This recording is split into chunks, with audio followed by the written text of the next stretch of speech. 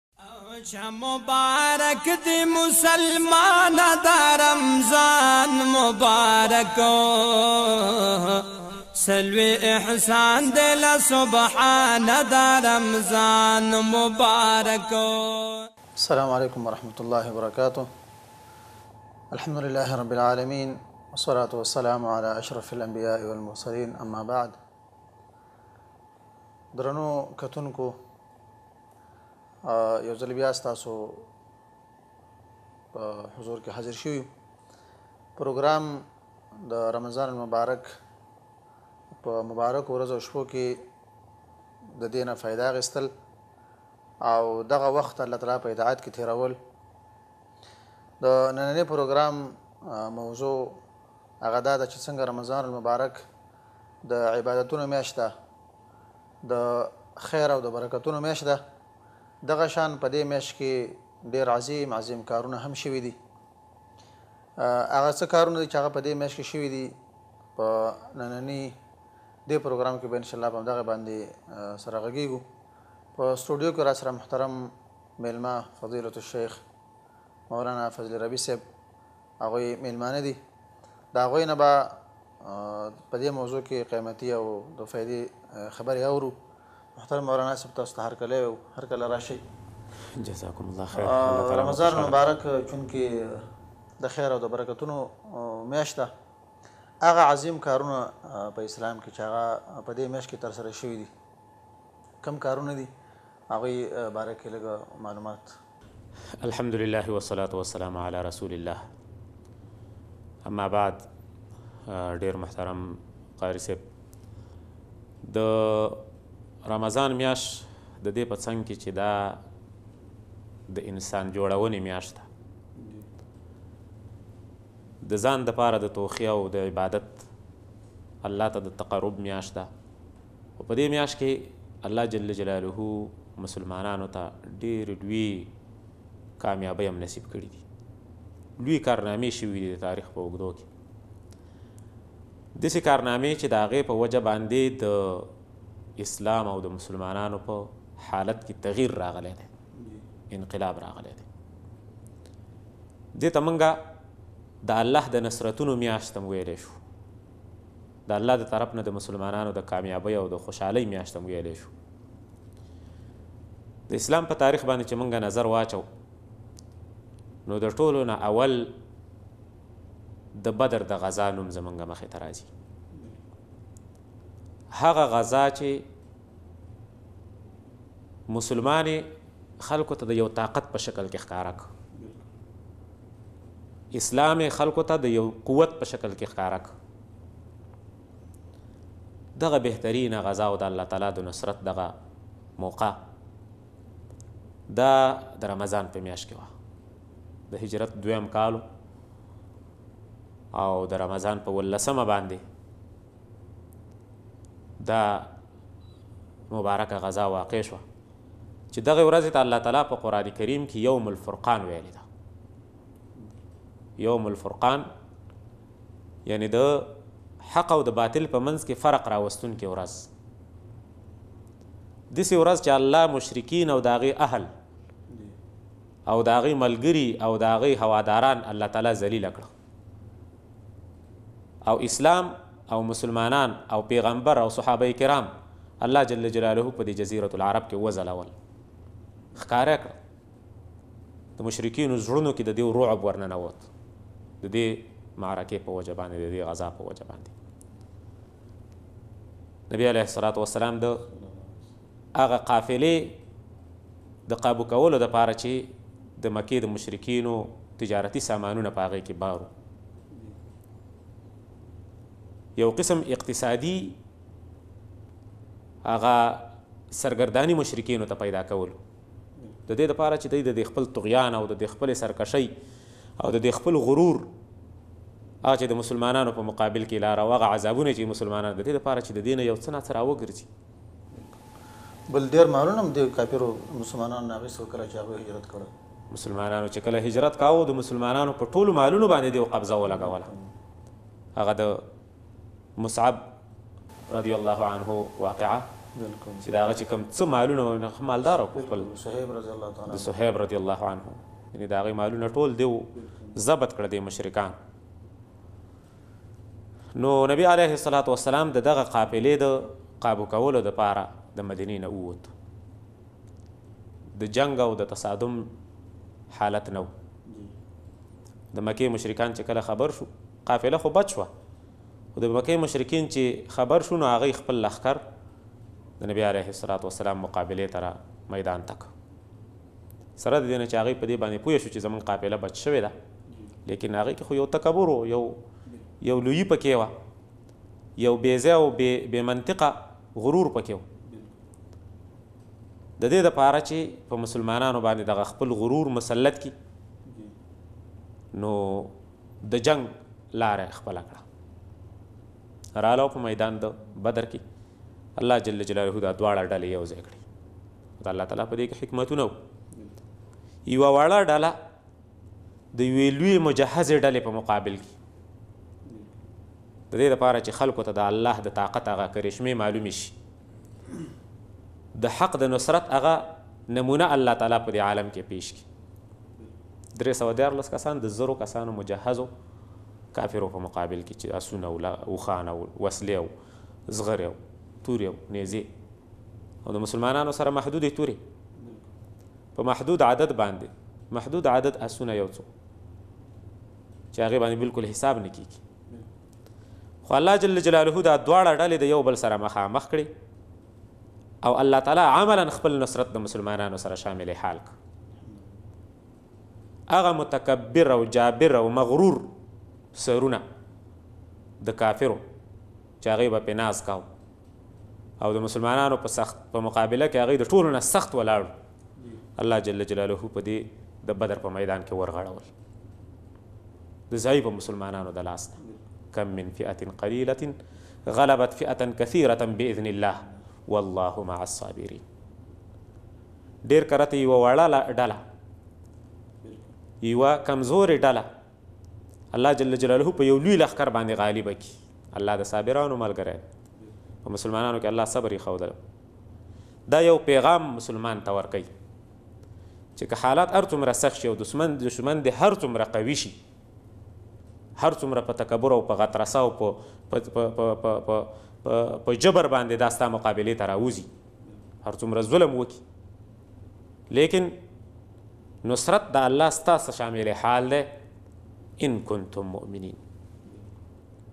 وانتم الاعلون ان کنتم مؤمنین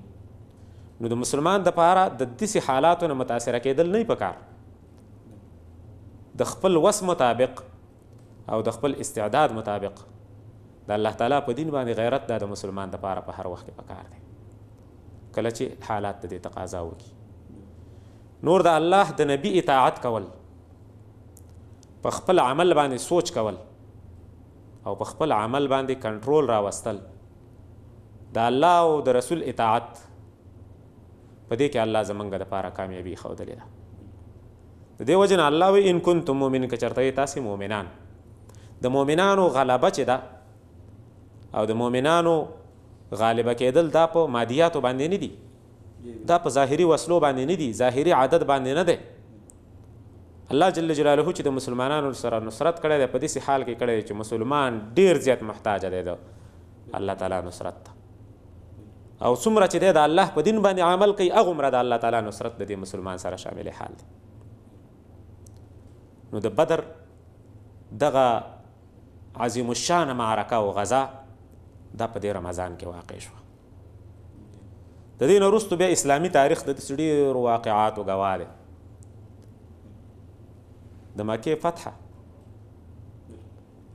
دا هم د رمضان په میاشت کې شوې ده او د مکې فتح خو موږ او تاسو ته معلومه ده چې د دې څه حیثیت دی د اسلام په تاریخ کې د اسلام فتح ده یو تغییر دی د اسلام هغه هغه هغه قوت او طاقت بالکل په د جزیره د عرب نه د دې هغه سمعت او هغه مشهورتیا او د خلکو په ذهن کې د هغه هغه رعب او دبدبه د دې په وجه باندې الله تعالی قائم کړه چې ناچیزه مسلمانانو په ناچیزه وسایلو باندې په ډیر کم وخت کې رسول کریم صلی الله علیه وسلم په دې باندې قادر شو چې هغه راشي او هغه کله چې د خلکو په زور ایستلی دی هغه علاقه چې د ملګری پټ په پټه باندې د دین حتی د وتلو توان نه لاره ډیر په پټ او په احتیاط باندې د دې مکه نه هغه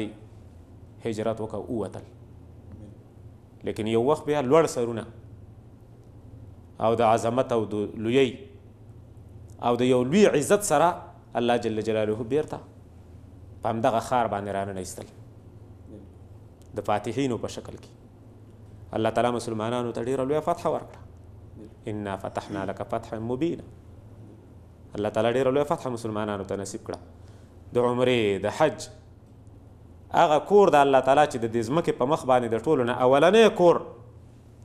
ان اول بیت ودع للناس په دې ټول کره زمين باندې د ټولو نه اولنۍ کوټه چې الله آباد کړې دا کومه وره کعبه ده د الله د عبادت لپاره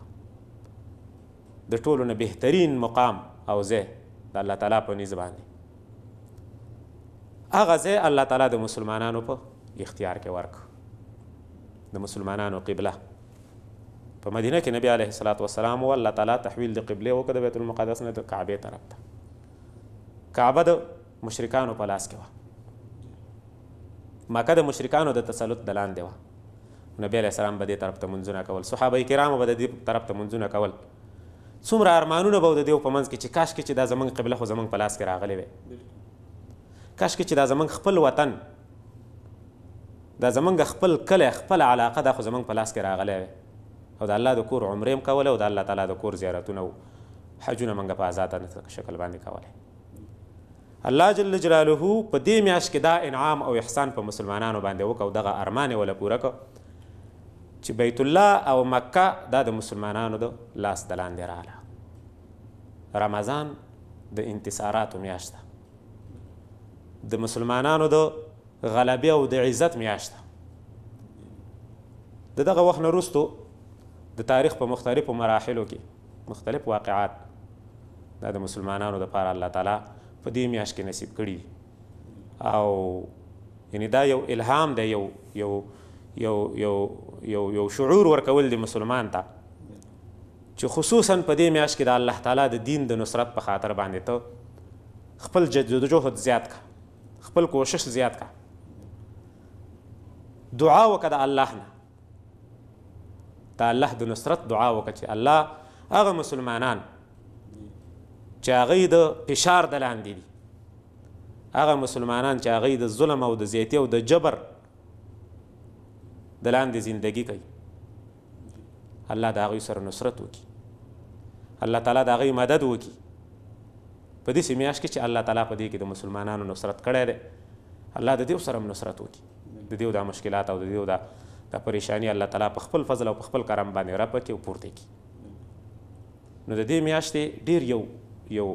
یو لوی اهمیت دی د اسلام په تاریخ کې او د اسلام په زندګۍ کې بالکل تاسو یو خبره د اشاره وکړه چې الله تعالی مسلمانانو له پدې میاشت کې فتح ورکړې ده یقینا چې ډېر سخت کار دی چې سړی روزه هم وي او جهاد به یو عظیم او ډېر یو سخت عمل دی خو چونکې مسلمانانو او صحابه کرامو هغه د الله د خبرې او د الله د رسول د خبرې دا غینه انکار ونه کړ بلکې چې څنګه هغه ته حکم وشو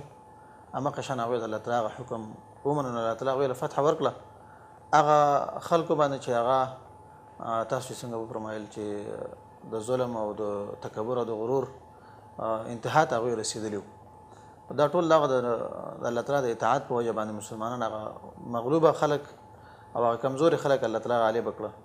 د سره ما سره ماته دغه د عمر درنه قول رایت شو فرمایي چې هغه به خپل چې څومره جهادي کمانډرانو مشرانو هغه ته به خاتونه کې دغه خبره کوله چې ګوره زمونږ او د کفارو چا سره چې زمونږ مقابله ده د مادي لحاظ سره هغه زمونږ نه په څو چنده باندې زیات قوي دي قوي دي اسلحه د هغوی سره زیاته ده تعداد د هغوی سره زیات دی موږ په هر لحاظ سره د هغوی نه کمزور یو دنیوي لحاظ سره خو البته یو شی زموږ سره دی چې هغه ډېر عظیم طاقت دی چې هغه د ایمان طاقت دی او د الله او د الله د رسول د اطاعت طاقت زموږ سره دی که چېرته موږ او د هغوی سره په دغه ګناهونو کې یو شان ته شو شریک شو چې څنګه هغوی ګناهونه کې دغه شان موږ هم ګناهونه شروع کړو بیا به هغوی په موږ باندې غالبه کېږي ځکه چې دنیایي لحاظ باندې خو د هغوی سره وسلې هم ډېرې دي او امکانیات هم ورسره ډېر دي او زموږ سره کم دي او زمونږ غلبه په هغې باندې د ایمان په وجه ده بالکل چې څومره د اسلامي معرکې شوي ده او دا سړی تاریخ مطالعه کوي نو دا ټول هم دغه شي چرته هم د سه ډیر کم کوز واقعیت به دي چې په هغه کې د مسلمانانو تعداد د کافرو نه چرته زیات نور په اکثرو معرکو کې مسلمانان ډیر زیات کمی او په څو چند باندې په لاساو په شناو چند غي زیات خو به الله تعالی مسلمانان لغلب ور کړی دا په دغه ایمان او دغه په وجه باندې بس الله تعالی دې زموږ استاد ایمانونه مضبوط کړي او دغه ایماني طاقت د الله تعالی زموږ او ستاسو مضبوط کړي. تاسې دا خبره دغه کړله چې یعنې د روژې په حالت کې دې مسلمانانو داسې یو کارنامې او داسې یو سختۍ ته لبیک ویلی دی او هغې ته په ډېر شوق او په ډېر ذوق باندې مخکې شوي دي. یعنې په د هجرت په دویم کال باندې روژه هم فرض کېږي. او د هجرت په دویم کال باندې دغه د بدر واقعه هم راځي. په همدغه اولنی کال باندې چې مسلمانانو اولنۍ روژه نیولې ده، ټول اسلام کې اولنۍ روژه ونیول شوه او په همدغه میاشت کې الله تعالی دغه نصرت د مسلمانانو وکړ، ځکه چې مسلمانانو کې همت و، مسلمانانو د الله تعالی په دین باندې غیرت کاوه یعنی د بدر په مقام باندې چې کله مسلمانانو ته پته ولګېده چې قافله زمونږ د لاسه وتلې ده نو اوس زمونږ د پاره واپس کیدل یا د کافرو سره مخامخ کیدل نه که سره مسلمانان ټول په دې باندې ودریدل نبی علیه السلام ته یې وویل چې که ته مونږه بحر ته ور غورځی او ته مونږ ته ووایې چې په دې بحر باندې ور ننوځئ هم مونږ به په هغې باندې ور ننوځو او تا ته به دا ونه وایو چې نه دا د هغې همت جزاکم الله خیر محترم ناظرینو وړه شانته وقفه اخلو بیرته راستنیږو را حاضریږو تاسو ته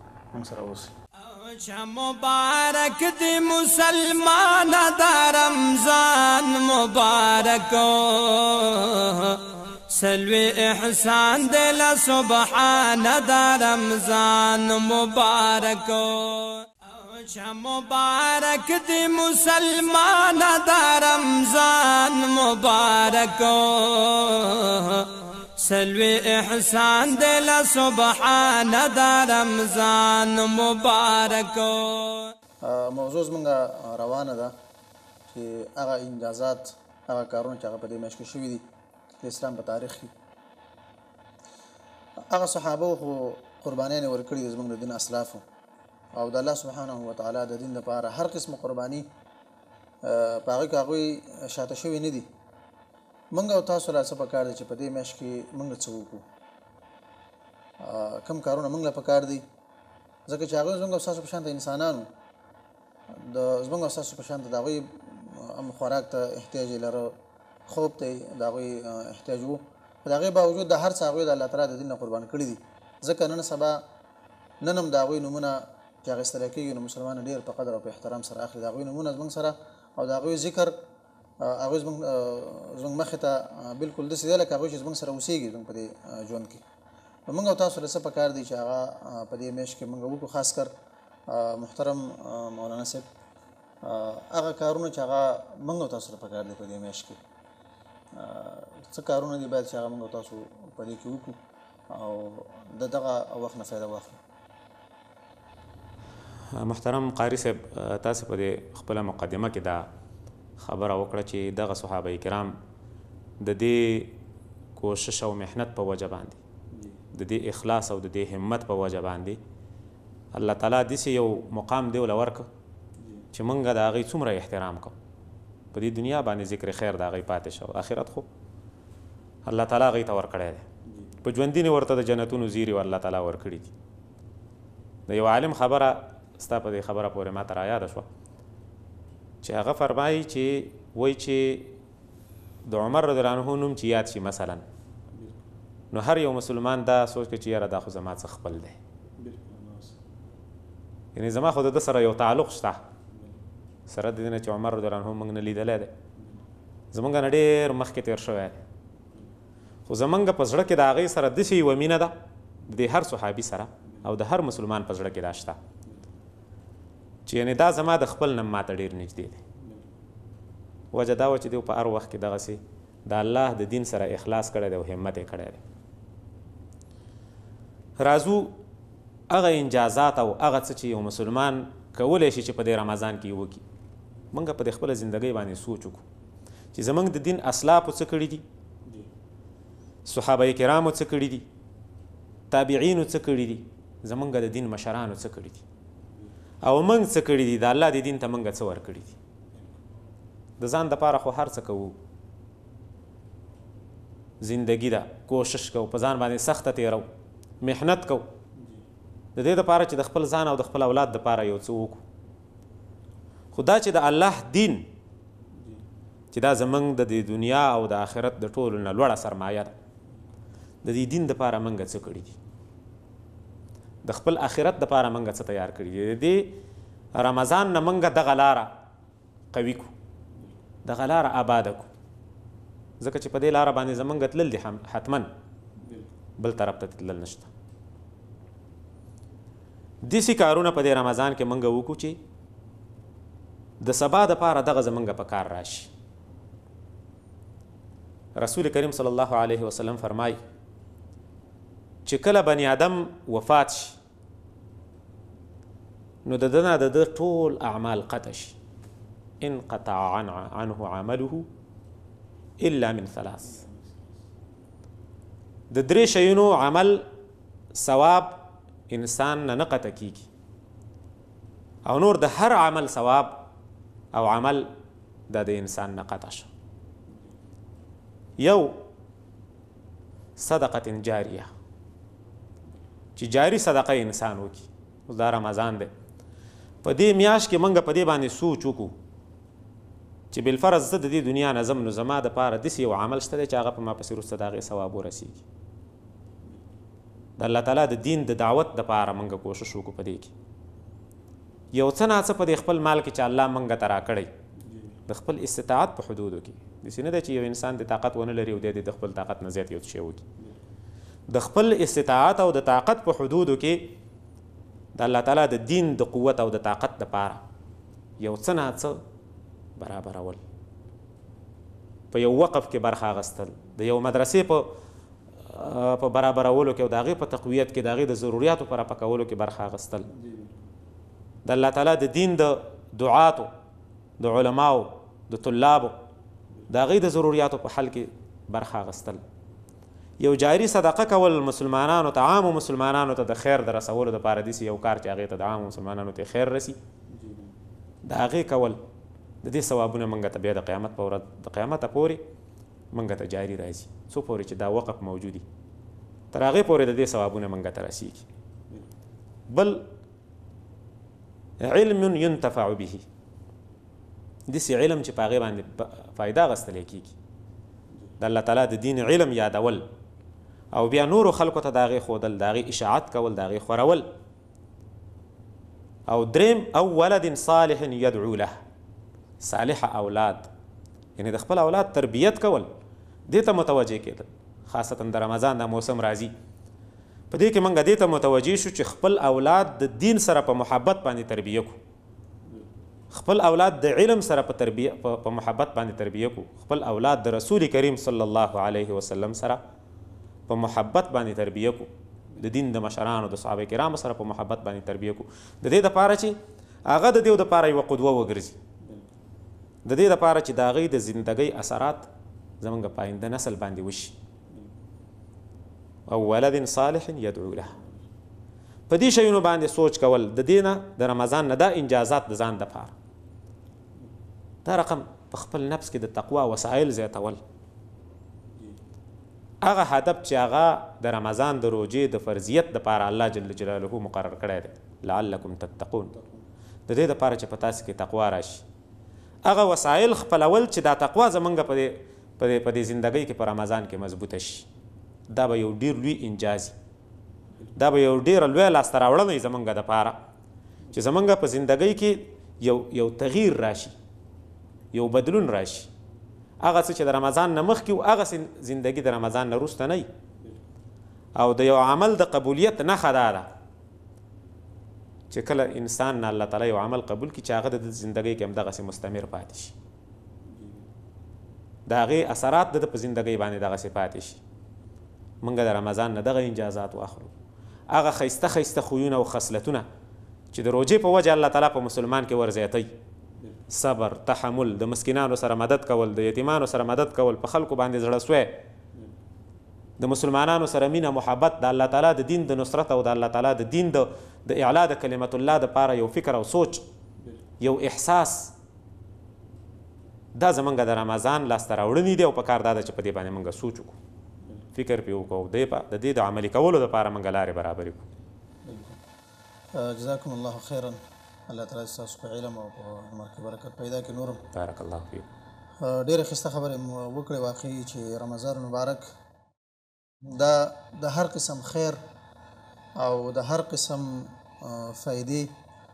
د راجمع کولو او پزان کې د هر قسم خسته صفاتونو د پیدا کولو یو عظیم او یو خسته چانس دی موږ تاسو ته محترمو کولای شو چې په دې کې موږ تاسو خپل اعمال او خپل د بدن د د الله تعالی په اطاعت باندې خسته کو د الله سبحانه وتعالی د رسول په اطاعت باندې خپل بدن موږ خسته کو خپل اخلاق او خپل ژوندۍ ټوله دا موږ د سې ژوندۍ وګرځو چې هغه د الله سبحانه و تعالی همیشه دا غو پر رضا کی زمونږ تاسو خو زمونږ تاسو ګرځیدل کې ناستل پاسېدل کولای شو چې دا څلور رش ساعت ژوندۍ دا ټوله موږ د الله تعالی په اطاعت کې تیر کو خو کله چې کله موږ تاسو خپل ځان او پیژنو او ځان هم رايخ کړ او د دغه په زړه کې یو احساس پیدا شو چې یاره څنګه زه الله تعالی رضا کوم او د الله سبحانه وتعالی د رضا لپاره کوشش وکړو فکر په ځان کې پیدا کړو الله به موږ کولای شو چې دغه خپل ژوندۍ د الله تعالی په اطاعت کې تیر کړو زمونږ د پروګرام ټیم هغه تقریبا ختم دی د روان پروګرام پورې تاسو ټول په الله تعالی باندې سپارو او ان شاء الله بل پروګرام کې به سره بیا ملاقاتي